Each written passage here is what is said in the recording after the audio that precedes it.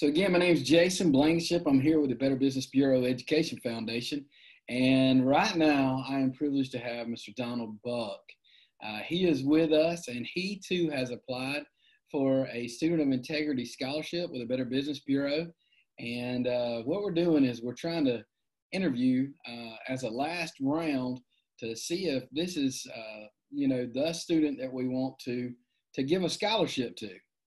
Mr. Buck, can you tell us a little bit about yourself? Um, well, my name is Donald Buck. Um, I am a student at Washington County High School. I am a advocate of the fine arts. I've participated in band, drama, chorus at my school. Um, and in the fall, I'll actually attend Georgia Institute of Technology, the major in music technology. Oh, wow. That's awesome. So are you going to play there with the Ramblin' Wreck? I hope so. Hey, that's what is your favorite instrument? Well, the instrument I play tuba is my favorite instrument, but I, I also play tuba. I play bass guitar. I also play a little bit of guitar, even though I, I wish I was better in just guitar. But um, my favorite is the tuba. That is fantastic. That is fantastic. Now, I have actually received uh, part of your application process. Uh, Mr. Buck had to write an essay. He had to get three references, and he had to show that he was doing some community service and evidence of his leadership. And a lot of your leadership comes from the band area. So tell me, tell me about that.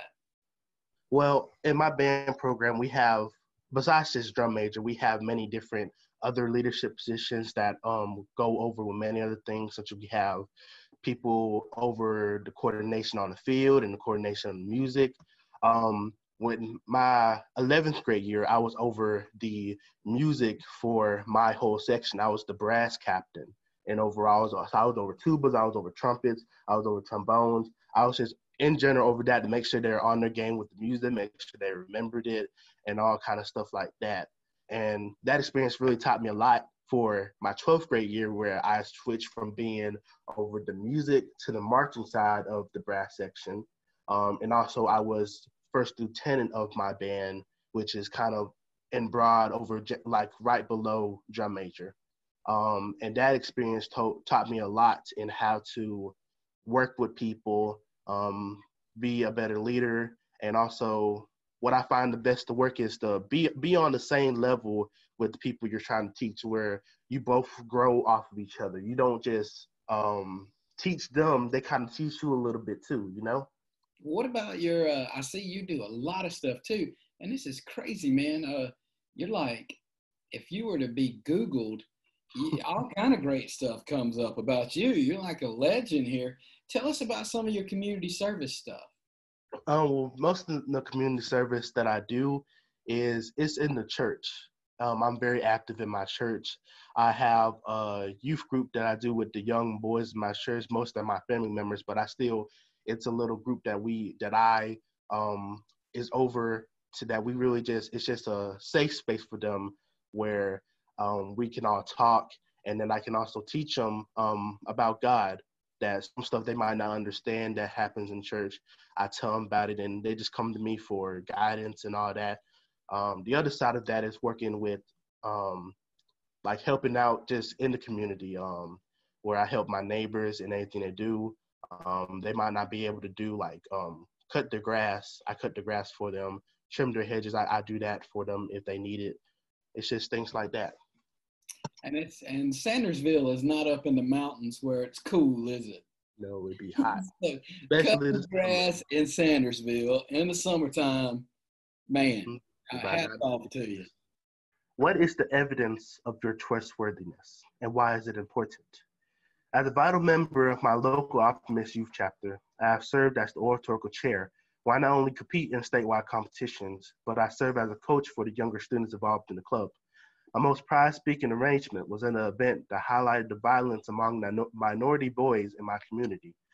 After my speech, I had the privilege of meeting some young men that not only told me that I gave them hope, but that it was good to see someone who looked like them be in such a high position in the community at such a young age. This engagement encouraged me to continue to be an inspiration to the youth of my community, not only to follow your dreams, but to help others that follow you.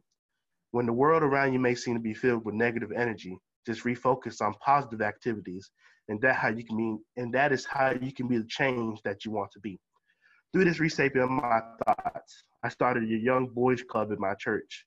Every other Saturday during the summer, young men will gather for fun and fellowship. I want to not only give these young men a safe place, but to allow them to see what they can be if they just believe in themselves. Through this program, the young men will come to me and speak about good things in their life, and sometimes to simply just vent about their personal battles. Not only were the meetings confidential, but they afforded the young men the knowledge to know that they had a friend in me. To these young men, trust is something that is earned through respect. The values that I hold true to myself allowed me to be that person that they could trust. An important aspect of some of the work that I do is knowing that my authenticity was transparent enough for others to see. Being an honest person is not just knowing right from wrong, but also living in that truth.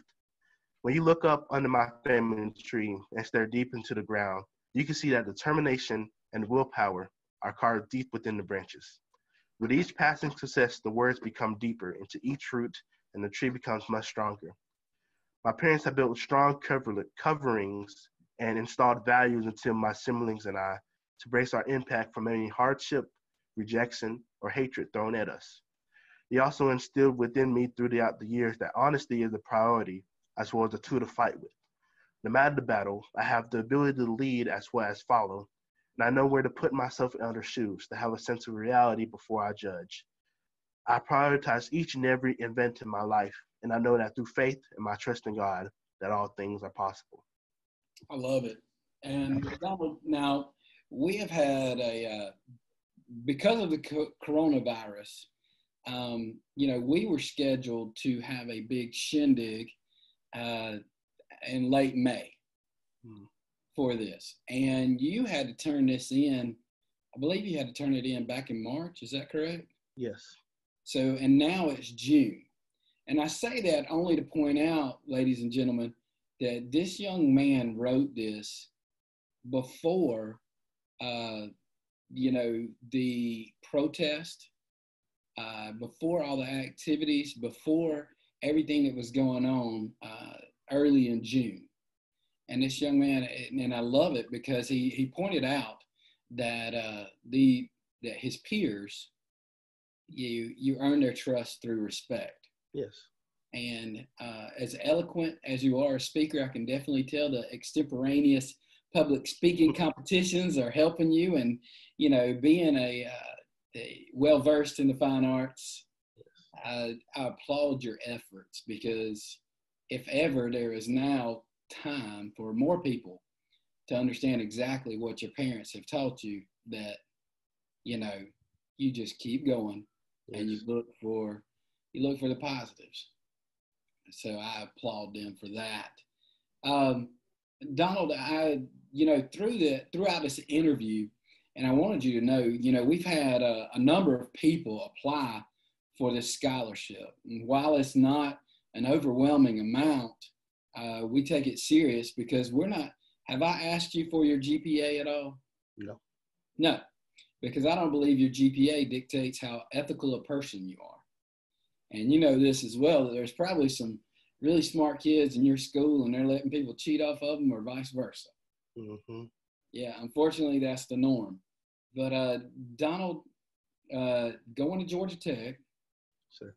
hopefully in the fall, when Corona leaves and you can get on up there and, you know, maybe you'll be part of the Rambling Wreck. Well, well, man, I want to let you know I've kind of tricked you a little bit in saying that this was an interview.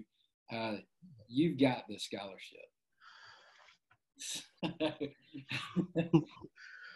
um, first, I want to say thank you. Thank you. Thank you. thank, thank, thank the Better Business Bureau for awarding me this. Um, thank you for believing in me, and I hope to make y'all proud. Um, I like to thank my family, um, my mother, my father, all my sisters, um, by the way, I'm I'm the only boy. I, I got like four sisters. Holy cow! I like to thank my grandmother, um, my family in all type, types of places, Milledgeville, Florida. Um, I got family in Detroit. I like to thank them for the constant support out the, throughout the years. I thank my community for supporting me, the community I live in, the community of Sandersville, the community of Washington County High School. I like to thank my businesses that have supported me, Burgess Pigment. Thank you for them. Um, I like to thank God for giving me all these opportunities. Um, I like to thank the Washington County Fine Arts Department. And lastly, I want to shout out my late great grandmother. Um, I call her Big Ma, um, as this would be everything I do is for her. Um, and none of this would be possible without her.